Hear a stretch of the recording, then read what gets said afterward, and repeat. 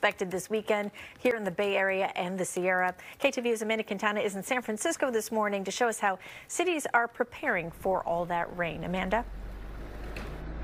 Yeah, well, good morning. We're in the mission where the last big storm caused some flooding around here. So there are some businesses that are trying to prevent that this go around. They've got some sandbags out, so they are trying to make sure that they can prevent things this next round of heavy rain and gusty wind that is on the way and it'll be cold.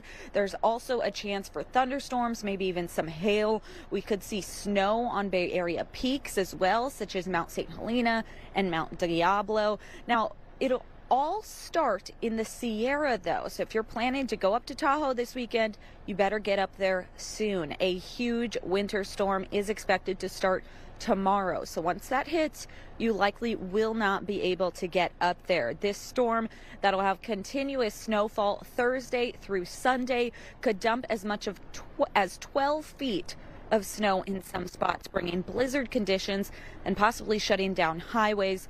This could be the strongest storm of the season. So today is the day to really prep. If you are planning to go up to Tahoe, you got to get up there soon. You got to do it fast. And then if you need sandbags or things like that, today is the day. We're trying to let people know today is the day to plan for that. Live in San Francisco, Amanda Quintana, KTVU Fox 2 News.